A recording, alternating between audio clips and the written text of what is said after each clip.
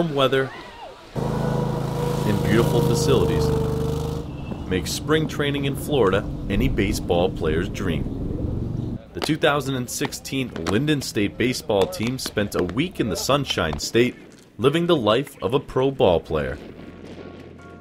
It may look like paradise for the boys, but the preparation to the start of the season began months ago.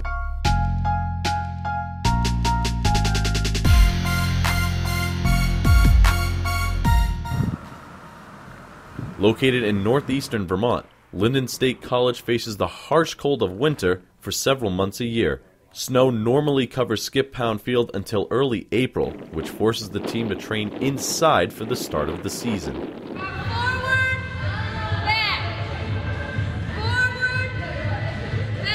During the fall and start of spring semester, the squad worked hard in the gym as the school's exercise science program hosted strength and conditioning workouts for the team.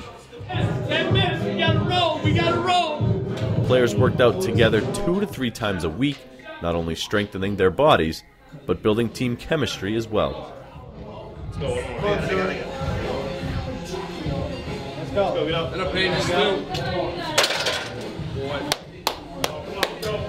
The physical side of the game is not the only aspect the team trains, as the mental side of the game plays a large role for the student athletes.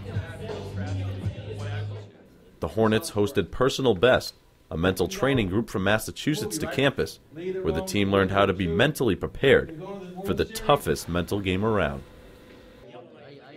For the month of February, the team practiced inside Stannard Gymnasium, using the facility as best as they could.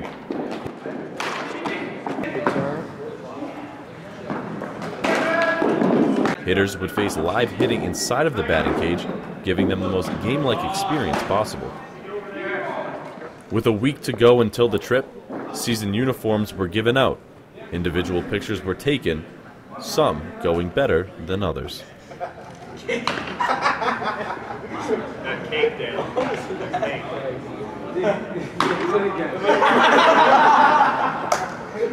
Put your chest out a little bit. Shut up, please.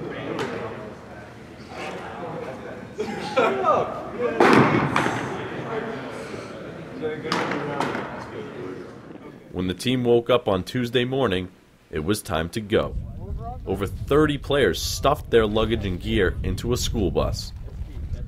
Yeah, we got a lot of bags left. Yeah, we got we got a lot. Yeah. Five. You got a dead body in there? No, it's 1980s hockey bag. It's collectible.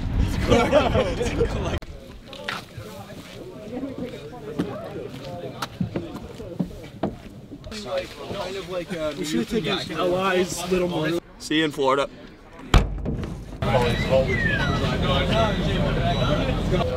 It's our personal best packet.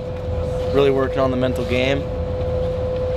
You know, take take take being a good player and making him a great player. Visualize, stay positive, leads to success. You fall in love with the process, and then the results follow.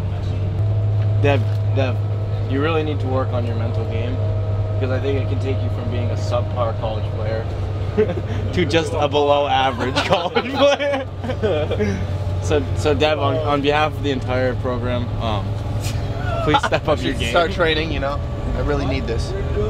Really take me to the below average player. It's all You need to be that below average. Guys, the airport is closed. We're driving the bus down. Thank you. After over a two hour drive, the bus arrived at Manchester Airport, where the team could leave the cold behind. Here we go. Step one, when the state takes Florida. Let's go, baby. The team boarded their flight, and after three hours of being high in the sky, let's go. We're in Florida. the team grabbed their stuff, headed to the vans, taking them to their condos. In the morning, the dream would become a reality. It was a beautiful Wednesday morning for baseball, but as a typical Florida day, large storms rolled through the area around midday. The team was scheduled to have their first outdoor practice at noon, but were pushed back to 3 because of the rain. During the early afternoon, some of the guys found a way to pass the time playing a game of Kringle created by junior Dan Pierce. Who would, would you be the Yeah. first referee? Do you want me to referee the Kringle game? I would love you to referee the Kringle game because I have no idea how to play. And I have Okay. no idea how the rules go. All right. Put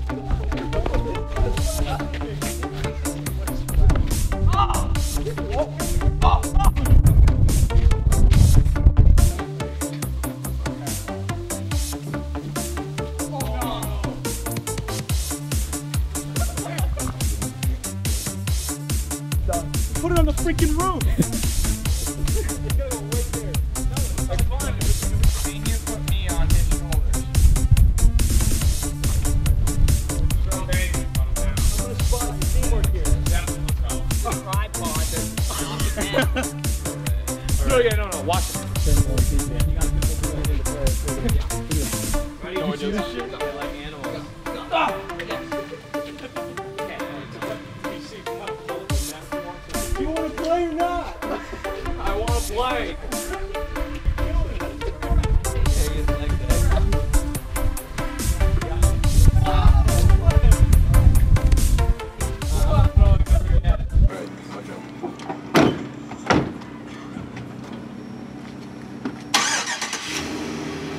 Fields were shut down for the day, but in typical LSC baseball fashion, that didn't stop them from getting better. Using an indoor hitting cage in a small field to the side, the team was able to practice just a day ahead of the opener, giving them a sense of how nice it was to play ball down south. The Hornets were under a day away from the season opener.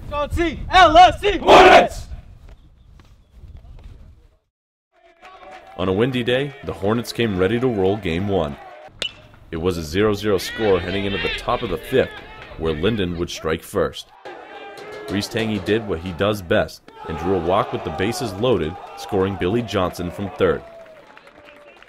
That's all junior Jeff Williams would need, as he dominated his way to a complete game shutout, and the Hornets took their first game of the year 2 0. Now that was behind us, fellas. We expect to do that, right?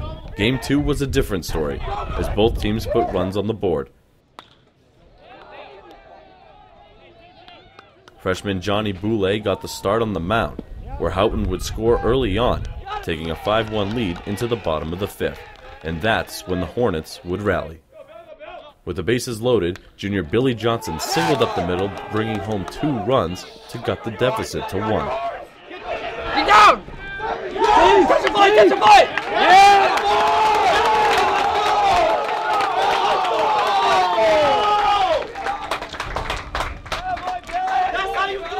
Sophomore Ryan Cordero stepped up next and would beat out an infield single to score the tying run.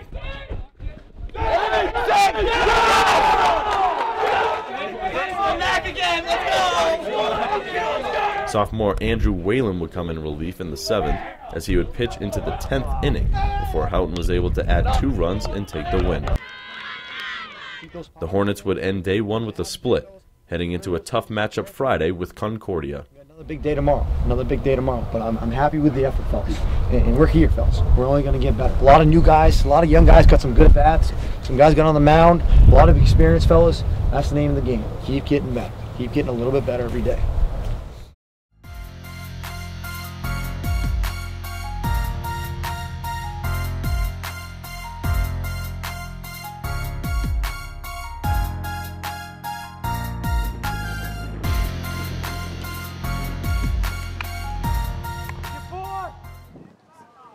Following day, Coach White called on another young arm to start the game, as sophomore Davis Geyer was on the bump.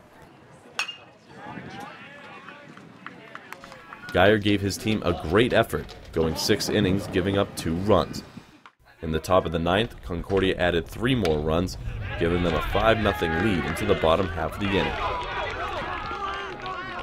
Hornets kept fighting. Have fun up at the plate. You guys look like you're pressing. Just get a couple of hits. We'll score some runs. Let's go. Let's go. Let's go. Have some fun. Have some fun. Let's go. Hits on three. Hits on three. One, two, three. Hits. Cordell chops this one out to short. Takes a bad hop, gets past the shortstop into center field. Jake Jordan's going to score on this one. Cordell advances the first run single. Hornets now trail by two runs, 5 3 in the bottom of the ninth.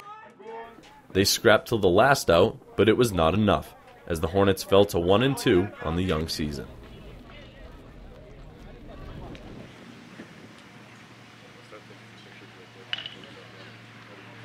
On Saturday, freshman Ben Rollins would make his first collegiate start, as he would impress, though facing some adversity during the game. I want Tucson to just tailed right. Yeah. It went- it He's, he's gonna call it. That ball's. It's a strike. If he's gonna give it to us, take advantage. We're not gonna- Rollins threw five shutout innings before Capital was able to plate the game winning run in the bottom of the sixth. And the victory was sealed by something Lyndon normally does to its opponents. He's going to make another move over to the first, and he fools Jordan. Jordan is now in a pickle. Shortstop's got the ball, and he's going to put that tag on his back, and it's going to end the game. As the team headed back to the condos, they refocused, regrouped, and prepared for an off day.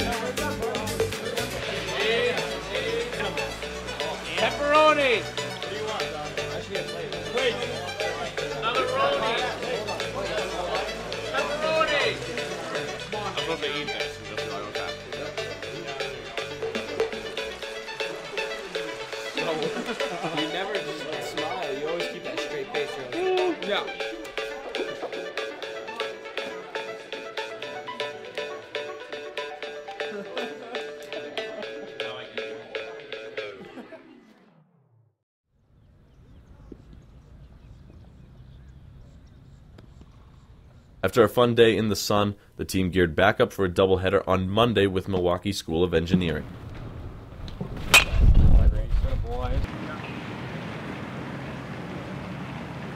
Milwaukee was able to grab four runs off Williams in his second start, taking a 4 1 lead into the bottom of the fifth.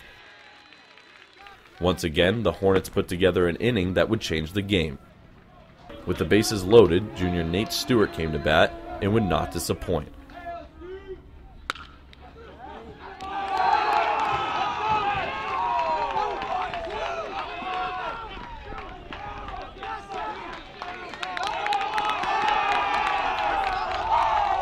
The Hornets were down one when freshman Michael Pena put the ball in play, forcing an error and scoring a run.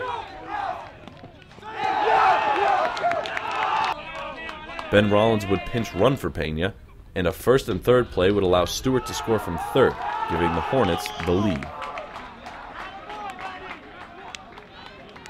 That's all freshman Zach Johnson would need, and he shut the door for the next two innings, earning his first career save. One more. Let's go. Let's go. I'm Zach Johnson. Hell of a job, baby. Zach comes in. He's confident. Stays relaxed. He's calm. He feels position. Right. Does a great job. That's that's excellent job, D. The Hornets would go on to lose game two, heading into their final doubleheader of the trip. The Hornets were taken down in game one against Hanover, but came ready to play competitive ball after some help from parents. The Tangy family gave the boys some midday fuel, as they provided bagels for the team.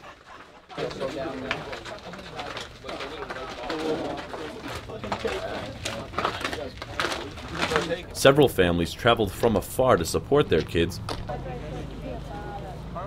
coming from all over the East Coast. Shane LaCroix, 29, gets pumped after a juice box. After the snacks, the Hornets found themselves in a tough spot early after having to deal with a five run deficit in the second inning. The Hornets were down by three runs in the bottom of the seventh, and that's when they got their bats going. The two leadoff men reached base after getting hit, which led to a pitching change by Hanover. Andre Easton Jr. would then reach on a fielder's choice, bringing two runs across the plate. Unfortunately, it was not enough. The comeback bid came up just short, and the Hornets lost their second game of the day, 5-4. Falling to 2 and 7 on the trip, the Hornets hoped their last day would be their best.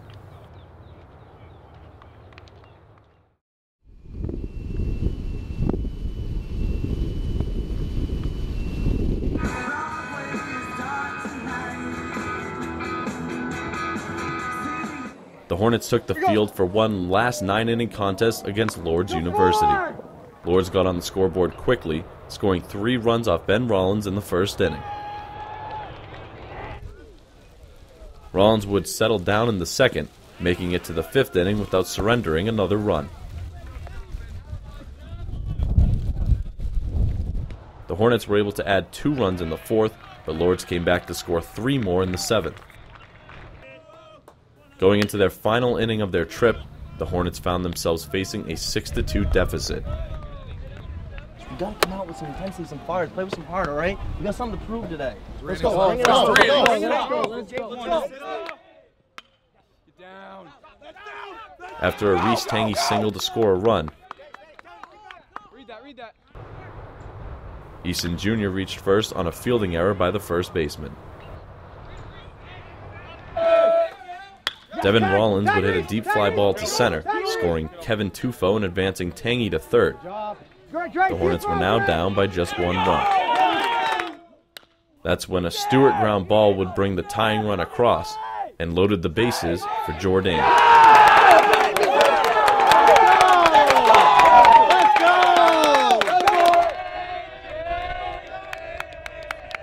The newcomer had a chance to prove himself, and he delivered. A single to right field brought in two more runs to give the Hornets an 8 6 lead heading into the bottom half of the ninth. Here together. Here together. One at a time. Have some fun. Do it together, man. Let's go. Let's go. The six run top half allowed Coach White to bring in Whalen to close the game. What about some of them magic beans? Hey, let's go! Let's go! Come on, left.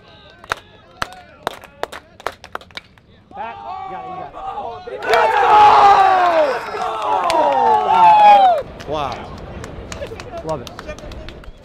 Coming from behind to capture their third win of the season, the team was feeling Pumped. Take a win back to Vermont with us. I love it. Three wins, fellas. Lyndon State baseball has never gotten three wins in a floor trip ever. You guys are making history, fellas. Making history. You did a great job. I love the toughness, fellas. Build off that toughness, especially you young guys. You see that stuff. You know, we've been through this. This is what we do. We deal with adversity all the time. Umpires, weather, doesn't matter. We are used to that stuff, fellas. We came down here, we had fun, we took care of business. Back to Vermont, gentlemen. Yeah. Hornets on CLSC! Hornets! She put